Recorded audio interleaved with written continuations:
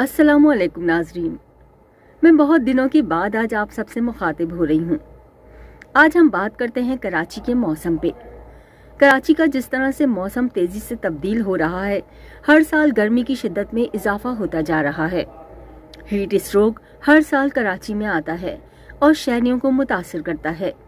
साल के छह माह कराची में शदीद गर्मी रहती है और इस दौरान हमें बहुत सी मुश्किल का भी सामना करना पड़ता है। कभी बिजली नहीं तो कभी पानी नहीं। कराची में पानी की किल्लत का मसला भी शिद्दत इख्तियार करता जा रहा है। बेहतर यह है कि हम सब पानी का एहतियात से इस्तेमाल करें।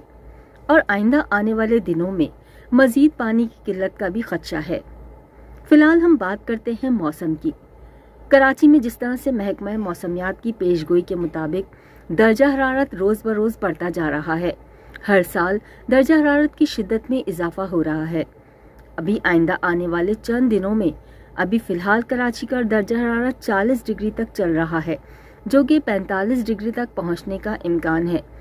और हीट स्ट्रोक के भी असरात हैं, जो कि पिछले कुछ दिनों से मुस्तकिल चले आ रहे हैं। समंदरी हवाएँ भी बंद हैं और ऐसे में गर्मी की शिद्दत में इजाफा इंसानों के लिए बहुत मुश्किल पैदा कर देता है। बेहतर यह है कि आप लोग खुद अपने लिए एहतियाती तदाबीर का इस्तेमाल करें। माहरीन माहौलियात भी कहते हैं और माहरीन सेहत भी कहते हैं कि हीट स्ट्रोक इंसानी ज़िंदगी के लिए ख़तरनाक साबित हो सकता है। बेहतर यह है कि अगर आप कोशिश करें कि घर से दिन के औकात में ज़्यादा बाहर ना निकलें। कोई बहुत ज़रूरी काम है तो ही बाहर निकलें और अगर निकलना ज़रूरी है तो अपने सरों को ढांप कर निकलें। चाहे गीला तौलिया रखें या कोई और चीज़ का इस्तेमाल करें, लेकिन अपने सर को ढांप कर रखें। क्योंकि जब सूरज की तेज शुआएँ आपके सर पर पड़ती हैं तो वो आपकी बॉडी का पूरा दर्जा हरारत बढ़ा देती हैं। इंसानी बॉडी का दर्जा हरारत नॉर्मली 35 डिग्री सेंटीग्रेड होता है।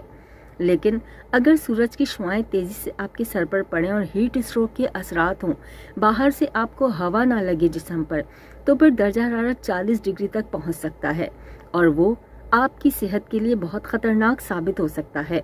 उससे कोई भी तकलीफ़ आपको किसी भी मर्ज का सामना करना पड़ सकता है। कोशिश करें कि दोपहर 11 बजे से लेकर शाम 3 बजे तक के दौरान घरों के अंदर ही रहें। और ख़ास तौर से छोटे बच्चों का ख्याल रखें, उन्हें गैर ज़रूरी तौर पर घरों से बाहर ना निकालें। अगर निकालना ज़रूरी है तो पूरी एहतियात के साथ निकालें और उनको समझाएँ कि पानी का इस्तेमाल ज़्यादा से ज़्यादा करें। आपकी भी कोशिश होनी चाहिए कि आप अपनी खुराक में ठंडी चीज़ों का इस्तेमाल करें। अंडा, मछली, मुर्गी या उस तरह की गर्म चीज़ें, गर्म सब्ज़ियाँ, गर्म फल, उन उन चीज़ों का इस्तेमाल ना करें।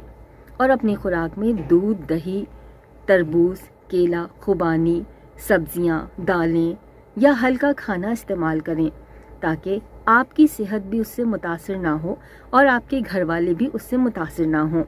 हल्का खाना खाने से आपके ऊपर गर्मी के असरात कम से कम होंगे। और दूसरी चीज़ अपने कपड़ों का, अपने पहनने ओढ़ने का, अपने जूतों का भी ख़ास ख्याल रखें। शदीद गर्मी में अगर आप घर से बाहर निकलते हैं तो हल्के रंगों के कपड़ों का इस्तेमाल करें और खुले जूते पहने। उससे ये होगा कि जितनी भी हवा बाहर चल रही है, वो आपके जिसम का टेम्परेचर ज़्यादा नहीं बढ़ाएगी और आपको नॉर्मल पोजीशन में रखेगी। दूसरी चीज़, पानी की किल्लत कराची में बहुत ज़्यादा होती जा रही है। लेकिन हीट स्ट्रोक के दौरान ज़रूरी है कि आप बार बार नहाते रहें, पानी का इस्तेमाल करें, पानी ज़्यादा पिए और अपने जिसम पर भी डालें। लेकिन बहुत से इलाके ऐसे हैं जहाँ पर कि पानी की किल्लत इस कदर शिद्दत है कि लोगों को पीने का भी मैसर नहीं होता, वो लोग दूर दूर से पानी भर के लाते हैं। ऐसी हालत में आपको चाहिए कि आप अपना सर ढांप के रखें और थोड़ा भी पानी मैसर हो तो उससे अपने पैरों को धोएँ और सर पर भी पानी डालें। उससे ये होगा कि आपके जिसम में अगर कोई हीट स्ट्रोक का असर होगा तो वो भी ज़ायल हो जाएगा और गर्मी आप पर असर नहीं दिखाएगी। लिहाजा आइंदा आने वाले चंद दिनों में, जैसे कि कराची का दर्जा हरारत में मजीद इजाफा होना है तो ऐसे में आप एहतियात का दामन हाथ में रखें और अपने घर वालों को भी मशवरा दें, अपने साथियों को भी बताएँ कि गर्मी से बचाव के लिए बहुत ज़रूरी है कि एहतियात की जाए। आइंदा चंद रोज़ के बाद जब मौसम बेहतर हो जाएगा तो अपने ज़रूरी काम आप बिल्कुल निपटाएँ। लेकिन इन चंद दिनों में अगर आपके लिए ज़रूरी नहीं है बाहर निकलना तो एहतियात करें और शाम के औकात में अपने तमाम काम निपटाएँ।